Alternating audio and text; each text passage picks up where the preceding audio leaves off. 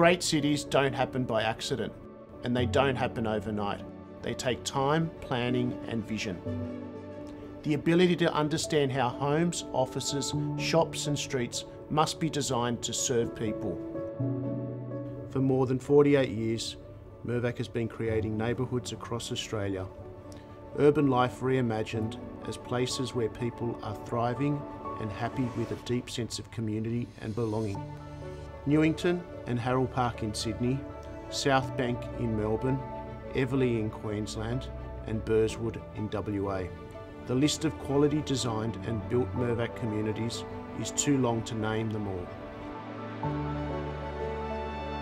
At Green Square, an urban renewal process that started decades ago is underway. At its heart is the town centre, where we've brought together some of the nation's finest architects and urban planners to create a place that is global in vision, yet local in spirit.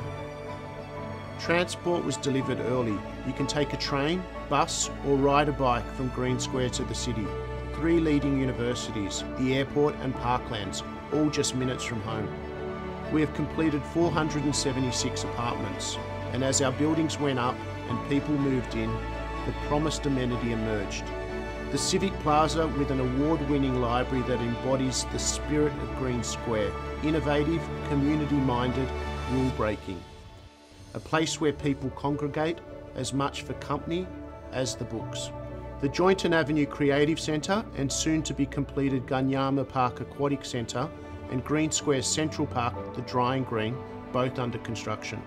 It's here, directly opposite 6,200 square metres of terrace lawns, trees, and places to exercise and relax, that the next exciting stage of Green Square is coming.